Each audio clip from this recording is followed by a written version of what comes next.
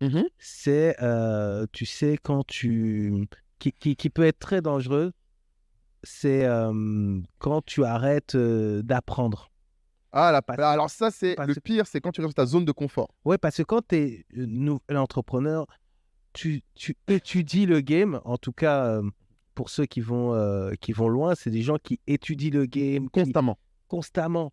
lisent Constamment. des choses. Tu voilà, tu t'es toujours, t'es toujours. Et puis, quand ça fonctionne, tu commences à avoir d'autres problèmes, d'autres trucs à Ah. gérer qui te semblent prioritaires. Les équipes, les Ouais. clients, le Ouais. process, etc. Ouais. Et donc, bah, c'est mathématique, tu as moins de temps À louer. pour aller euh, euh, étudier. Ouais. Et ça, euh, et ça, bah, en- et en plus, ce que je viens de dire, c'est comme si je trouvais des excuses déjà par avant. Tu commencé par dire toutes les raisons pour lesquelles c'est de plus en plus dur. C'est ça. C'est vrai. Alors que, alors que tu dois, en tout cas de ce qu'on voit quand on a les témoignages de ceux qui vont euh, très loin, Ouais. c'est que l'apprentissage reste une, une priorité, même si ça devient, c'est toujours, enfin, ça devient dur